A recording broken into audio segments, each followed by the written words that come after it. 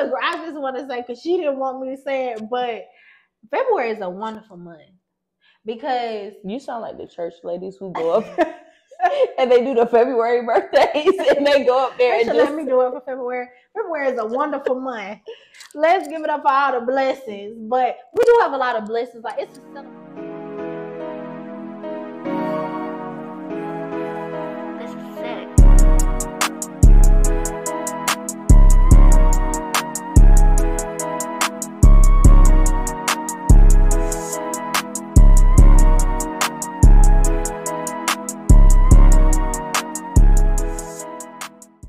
Hey y'all. Welcome to Notes from Black Girls Podcast. It's your girl Tiana. and it's Taylor. I used to say checking in, PM, PM, because you know you. But it's like it's kind of weird when you're on camera. Like well, and, and that's why I told you not to do it the first mm. time. I'll do it on camera. Like Okay. checking in, boom, boom, boom. Like oh. boom, it's sexy. Anyway, so we are back. It's season two. We hope you enjoyed season one. Uh, as you can see, it's something a little different, you know. We are officially on YouTube. Um, so we'll still be on Apple um podcasts and Spotify. Um, but we decided that we wanted y'all to see our faces and because we're truly hilarious and I want y'all to see how Taylor be cutting up. So So what I'm hearing, this is you trying to out me. Like, you're the op. yeah, the people Okay. got to see how you act. Noted. Um, thank you for sharing. Um, You're rude. so to get to get this thing started off, um, when this drop, is Black History Month, baby. Yeah. Happy Black History Month. Black, black, black on black on black. Yeah, turn me up. Um, so as you can see, I have on. I hope the camera can see it for real. Um, a hoodie from a black-owned business Mhm. called Euphoric Seven Seven Seven. Shout out to them men because they're um kind of dismantling the stigma of um black men um essentially taking mental health into their own hands. Like they also have a hoodie that says mental health matters and they have the hotline. So shout out to y'all. Oh, that's cool. Yeah. Dope. hmm Come on, Dad. Shout out to the black therapists that matter. Uh, okay, we got a message on the shirt. Okay, so as let's get into this episode. As you guys can see, this is hot off the press, like Madam C.J. Walker's hot comb. Shout out to that lady. Um, so as we know, we always talk about um her inventing the hot comb, but let's get into my girl's other inventions because she's Mhm. not. She didn't just create the hot comb. Okay. She was an entrepreneur. Yeah, The first. the first, yeah. And so let's get into the vegetable shampoo because, Mm. like, zucchini, like, what was the vegetables my girl was putting in? That's probably why she had to get the hot comb because Yeah, when you got just vegetables sitting on your scalp, I know it was like the roots was given, given thick. And let's also talk about she created the first hair straightening like serum, I guess you could Mhm. say, or formula. And my girl had her face on that. Like, let's get into her marketing. Like, Mhm. she was ahead of her time. Like, I don't know anybody putting their face on something except for the dead president. Shout out to my girl. She had to let y'all know who Yeah, it was. because it's Big Madam. And I think that's even a flex. Like, your her name, name is was Sarah. Madam. Because her name is Sarah. Yeah. And I think for as Black History Month, address me as Madam. Yeah. Madam. hmm So let's get into the importance of hair as a culture. Turn me up. So, um, in slavery, slaves oftentimes, like the slave masters, made them shave their heads, and it essentially was a tactic to, um, kind of take away our identity. Like we don't know who we are. Like we're bald. Like sucks to suck because we're back and we're better, baby. Um, but and oftentimes if they didn't make you shave your head, like you had to hide your head during the Mhm. week, and then on Sundays you could like reveal. Mm-hmm. And I thought it was a cool correlation of like we kind of as a culture have the Sunday's best Yeah. situation going on. Um, because I don't know about y'all, but I got put on my best for the Lord. Okay. Mhm. Um, and then um also one, another thing I want to highlight in the journey of like black culture, black hair Mhm. is how we oftentimes assimilated to the Caucasian culture of having straight hair. Yeah. So we had straight hair for a long time, and we were taught like our hair is more manageable when we wear it straight. Which, Mhm. honey, our hair is manageable in every state. Mhm. but I won't get into that. But you could kind of speak more of like the Black Revolution side. Yeah. So when we moved into the 70s, you saw more so of like a black liberation. So you saw people, black people take pride in their identity. And I think it was one of the first times that was after the civil rights movement, we got a few rights, you know, but um we were able to sort of kind of show appreciation to our identity and especially in our hair. So that's where you saw a lot of the afros and you saw a lot of um a lot of like natural state. Like you didn't really see some black people of course, you know, straighten their hair, but you saw more of like that froze and the natural like just how you wear your hair naturally how it comes. Um, and moving into the 80s and the 90s, you saw a lot of protective styles, especially in the 90s with the braids and the box braids. But we were also introduced to hair weaves and um, to relaxers, and we went back to wearing our hair more in a straighter, um, in a straighter state. So uh, I always think about the 90s. I always think about Aaliyah, and y'all know how Aaliyah had a bust down middle part with a wrap I feel like a lot of artists, especially back then, they were pressing their hair. Um, they had a little bump to it, but it was always straight. Mhm. Um, or you wore it most more so like in braids, like you saw Janet Jackson and Poetic Justice and things like that. Um, and then moving into the early 2000s, um, we were still on a cream crack. We were still wearing our hair straight. Um, but we were also wearing extensions, we were wearing ponytails. Um, we did have some a few people that were celebrating like their natural hair, like Jill Scott and India Arie, Erykah. um, yeah, Mhm. Erykah um, Badu, and so we saw a lot of we saw like different styles for Black women, but it was still weaves. It still was like the relaxer, but I think moving now to more modern times. I'll say it's almost like a taboo for black women to have uh, relaxed hair because most black women um, celebrate the natural state that your hair is in. So you see a lot of loose naturals. You see a lot of girls that are locking their hair now. Um, and so I think that we have a beautiful journey of how we've come from, especially from slavery time into after the civil rights movement to now, how our hair has changed. Um, but I think that black hair is still a very important part of our identity and who we are because no matter what we have, what what state our hair is in, whether it's natural or relaxed, our hair gonna be done. Mhm. Okay, Mhm. so yeah. Yeah, look at you doing a segue. Didn't even know. So let's get into that. When you use journey, let's talk about our own hair journey. Mm. So um, I'll dive into mine. I most definitely did have the Easter bump. Yeah, I had the Easter bump for sure. Um, but growing up, in all seriousness, I had the two puffs. Like that was like my signature style. Um, and then in middle school, I kind of had, you know, like the braided Mhm. styles. Like my edges was getting full. Okay. Then I, whenever I had the beads, like I really thought I was that girl because I could hear the beads clacking. Me too. I have a picture. Maybe I insert it here of me shaking my hair because I used to shake the little beads. Like when Willow came out with my hair, yeah, I did. like, before. that resonated with me because I Mhm. whip my hair back and forth. Okay.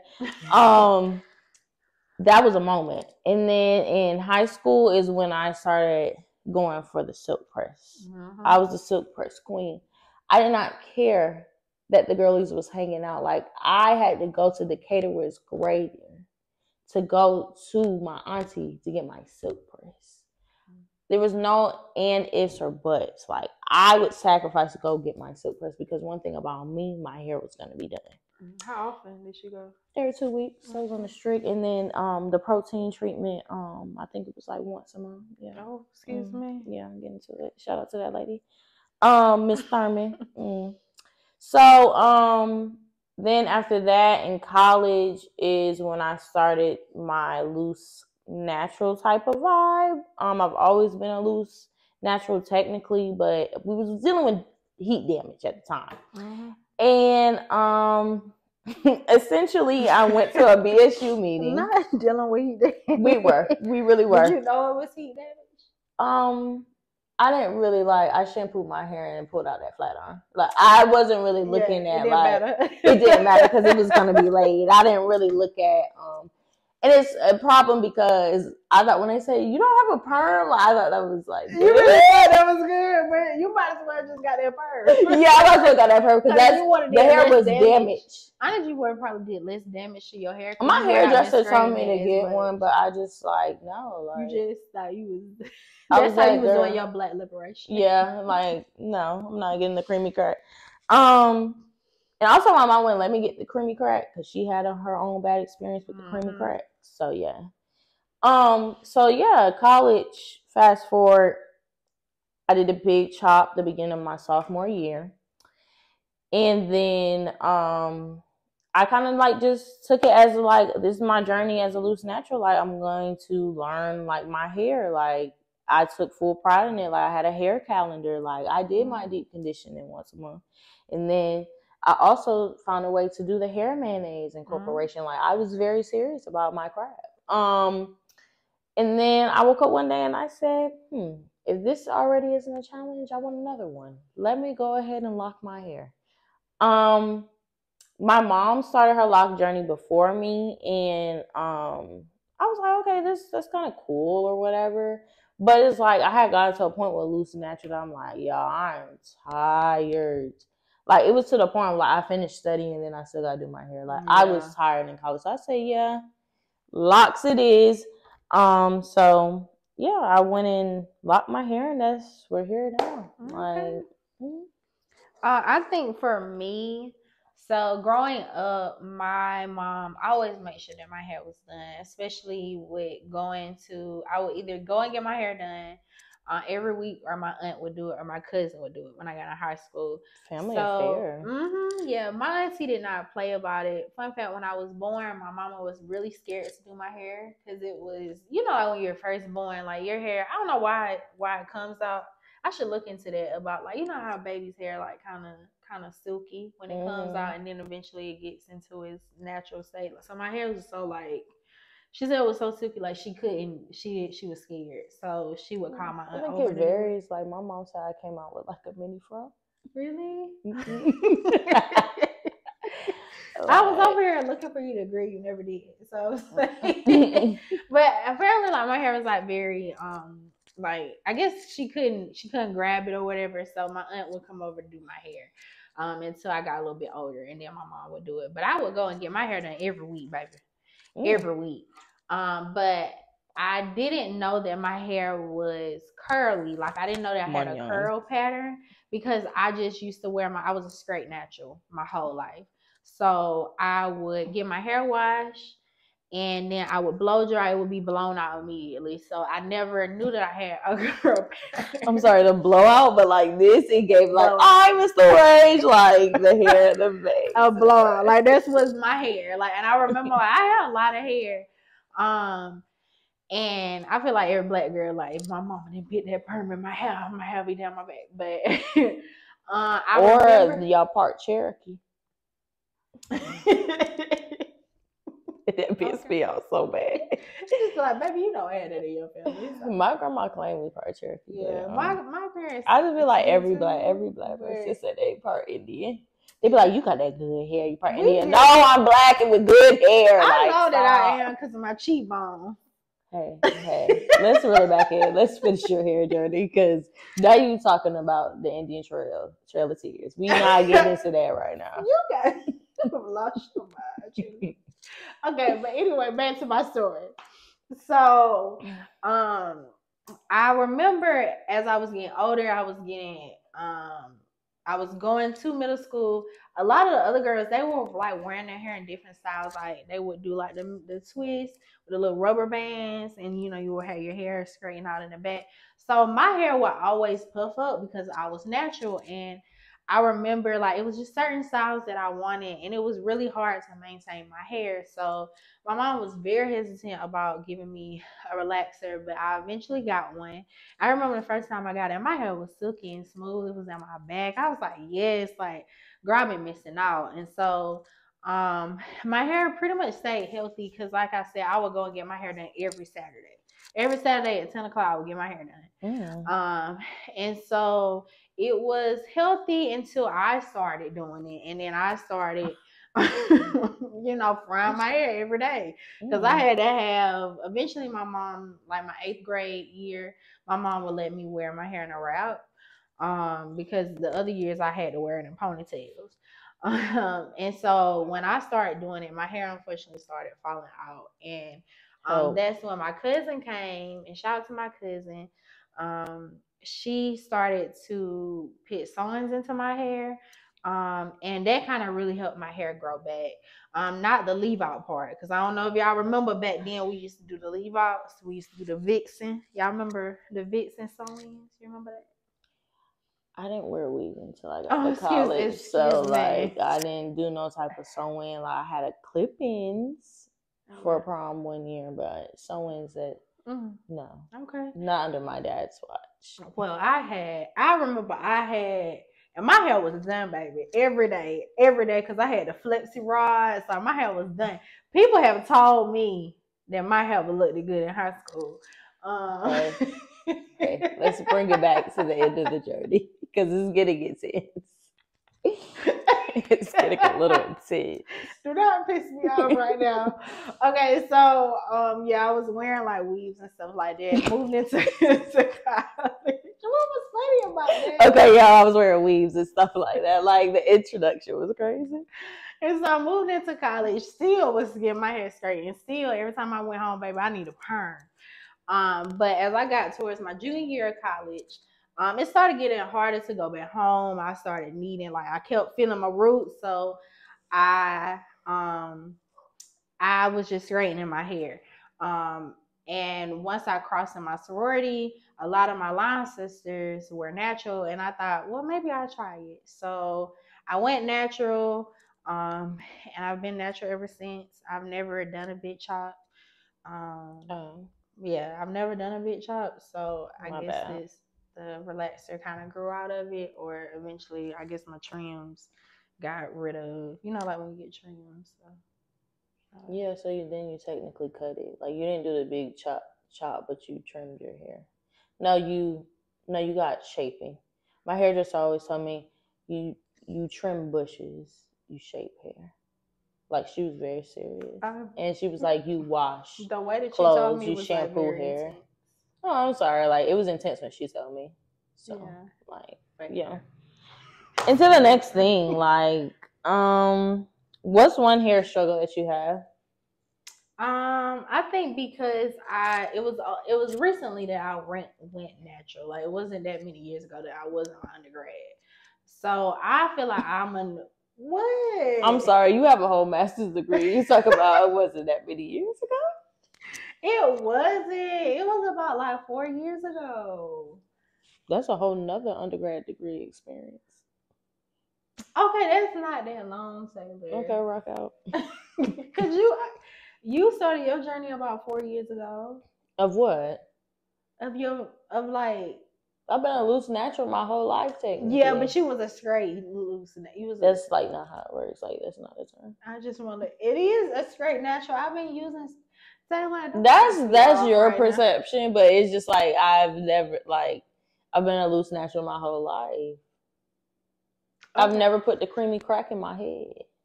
But what I'm saying is, you start appreciating your curls in a natural state.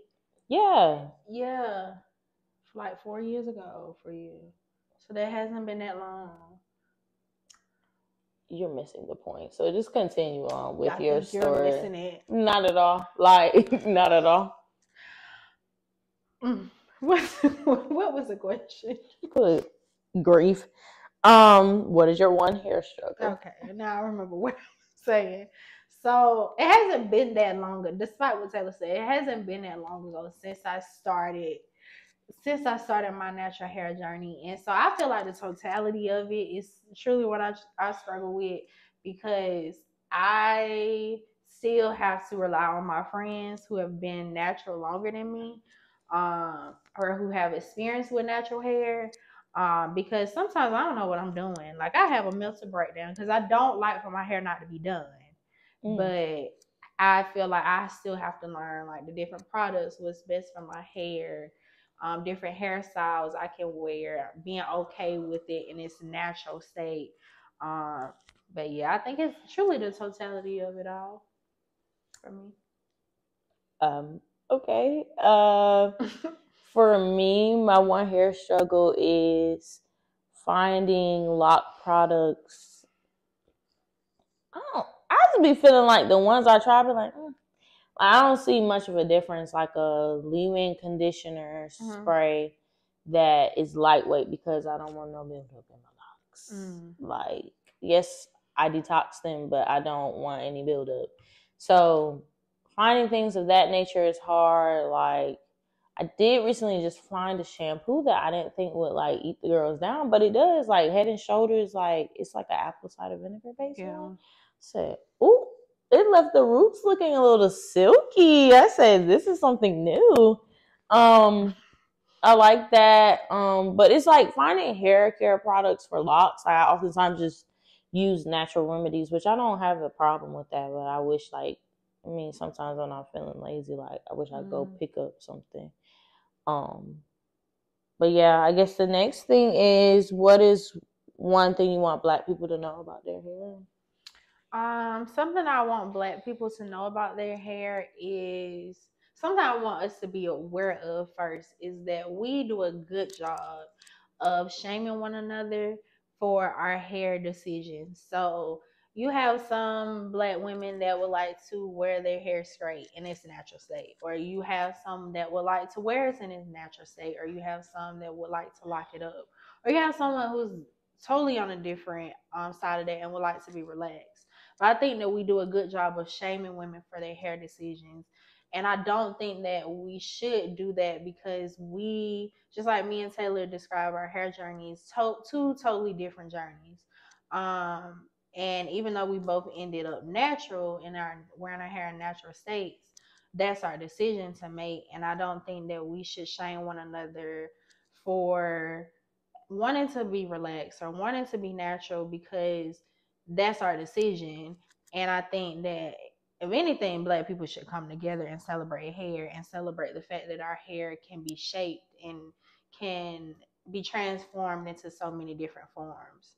So I I guess I would like for black people to know that you can wear your hair how you want to and you shouldn't be shamed for that. Wow. It's poetry night. Um, so for me, I would say that I guess it's a kind of preview into the notes, but um hair is a form of expression. So if I want to wear the cornrows one day, then a bust down middle part that's a 30 inch the next day. Mhm. And then maybe I found a cute synthetica that I like and I knew how to like really eat the girls down Not with that and and then wear that next. And then maybe the next day, um, I want soft locks. I can do what I want to do with my hair because you know why? I pay for all the services. And as long as I'm not hurting anybody, I can do that. Mhm. So I feel like express yourself the way you would like to express yourself. Like if that's wearing a hairstyle for one week, like you got it, sis. Like do you? Um, and I just I'm gonna use that as a segue into someone I look up to hair wise, which is the next question. Mhm. Uh, I have to say my mom because when I think about it, it's like through every phase of her hair journey, like she was unapologetic about it. When my mom had her little short pixie cut, she ate the girls down. When my mom had hers, I won't call it a Jheri curl because I just never claim my mom had a Jheri curl. I think it was a texturizer, and it was like a low cut. She ate the girls down. Um, and now she has locks, just like me. She's gonna eat the girls down. Like she's unapologetic about it because people in our family that just be like, "You gonna wear your hair like that?" And it's like she's Uh-huh. like, "Yeah." And what about it? And I respect that so much. And it really seeing that as I mean, I'm a grown woman now, but as a little girl, empowered me to be like, hair ain't like hair will grow back. Like, and if not, I can get me a bust down middle part. Um, so that's someone who I looked up to. What about you? Um, so anyone who knows me knows that I love Insecure. That's one of my favorite shows. Um, and so in watch, watching the show, I look up to Issa um, because she, I feel like she does a great job of showcasing natural hair as elegance. So she made sure in every, and I feel like in every season, we were able to see the growth um, of her hair. And she was able to put it in so many different styles, and it made me truly realize that I could I could wear my natural hair and it could be beautiful, it could be elegant. Uh, because I think that we, especially black women, we do a good job of when it's a special occasion like a wedding or something that we're going to or a birthday. You know, it's it's quick, it's easy for us to get a bust down middle part. And I'm saying that's not beautiful on black women, but I think that Issa does a good job of showcasing that natural hair can be also elegant, can also be a celebration style. Um, and I look up to her and I aspire to be like her, to wear my natural hair more and to not rely necessarily on other other hairstyles or protective styles or weaves and things of that nature to make me feel beautiful. So I definitely look up to Issa. Shout out to my girl. Shout out to Issa Rae. Um, why you laughing? Shout out to Issa Rae. um, so I think it's note taking time. Note taking time.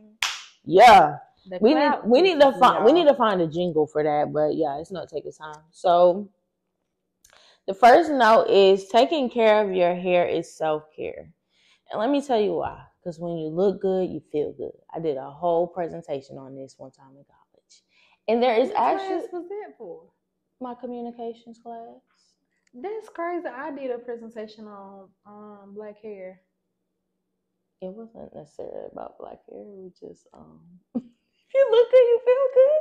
And I was talking about the importance of like your outward appearance. Did you that? Oh, baby, I got past it with flying colors. Me Yeah. too.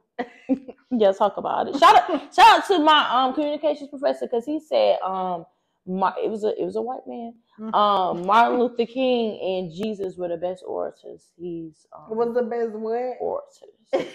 I said, yeah. He didn't know what to say after that speech you probably gave because knowing you, I didn't get pro black in like your appearance. Like I didn't really do all. do I, I don't think that you were aware of it, but I think you you carry that aura, like you carry that, like that you're Angela Davis. I'm tired of this. Um, so yeah, it is it is self care because if you look good, you feel good, Yeah. and it's also just something you should know. You should know or like take pride in wanting to learn how to do. Mhm. So, yeah. you got number two. y'all, I'm just be real. Like this take number two, and she sit over like I want to do note number Why would you three. tell people One thing I value is transparency. Like we really went through the mud to get this episode. got it out mud? Hey, little baby, please. Um. You not finna Wear your that. hair unapologetically. If you want, if you want, if you want, like I said earlier, if you want to wear your hair young, wild, and free, do as you please. Young and wild and free. Sorry. All right, um, that's enough jingles. So like you can go on to the next one. So moving on to our third and final note.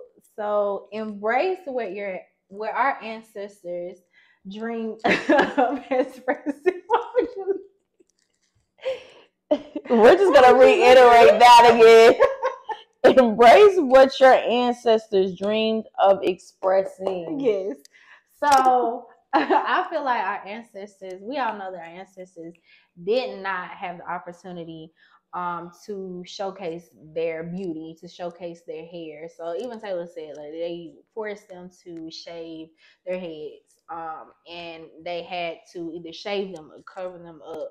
And a lot of times their hair was used for um, not necessarily to express them, but to guide other slaves outside of, um, to like lead them from to freedom. To freedom. I knew you was gonna say that when I said please don't say freedom, but it came. We are not Onika stands over here. Shout out to Meg. We love you, girl. I love Megan, like I love Megan. Um, but um, yeah, a lot of our ancestors were not given the opportunity to express themselves through their hair or wear it how they wanted to, or even be proud of how their hair texture was. And so I feel like now that we have the opportunity to showcase that, we should do so. So, however you want to wear your hair, um, I think that it's a celebration um, and an honor for um, us to be able to, if we want to wear it in braids, so we want to wear it in um, in its a natural state or or twist out or whatever you want to do with your hair. I feel like it's an honor to um to be able to do that because our ancestors unfortunately were not able to do that and i think they would be really proud of us um if they knew where we were now and how we wear our hair Yeah, and shout out to the men because the temp fade eats. yeah I love a good eat. temp fade, and I love a good um. You got your locks right here with the temp fade, like that. Eats. i love it like when they have like the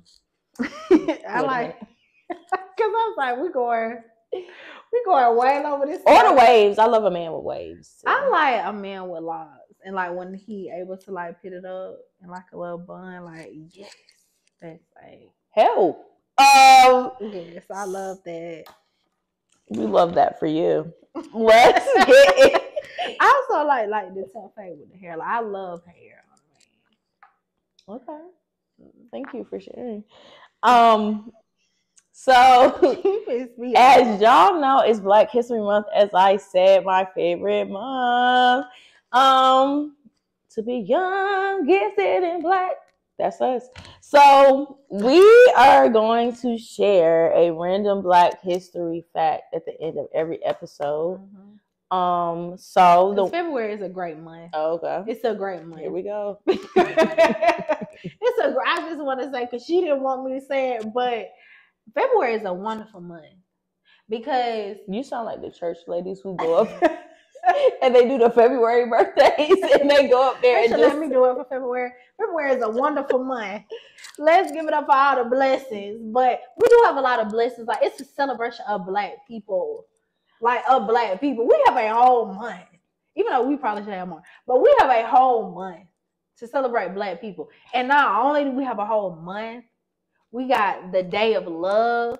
In which you can share it with your significant other, or you can share it like in a Valentine's Day, whatever you want to do. It's an expression of love. And then my mama did her a big one. Shout out to my mama having me on the last day. That my mama did that. Like that's you did that, girl. Go ahead. Okay. Um, thank you for that. Um, well, all the Pisces stand. Um, so the random Black History fact is that the why did you deep breathe? the theme song, Airbnb.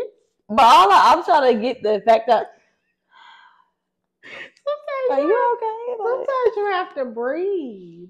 Okay, fabulous. Um, the theme song to the public television popular children program Reading Rainbow, like I simply was almost done, It's sung by my girl Chaka Khan. Okay, don't play with that lady. Uh, y'all gotta run that back. Mhm. Shout out to Chaka Khan. Yes. Reading Rainbow was a show. It was a moment. Um, but Mhm. while we're on the topic of bringing black, bringing back programming, let's bring back Bobby Jones Gospel.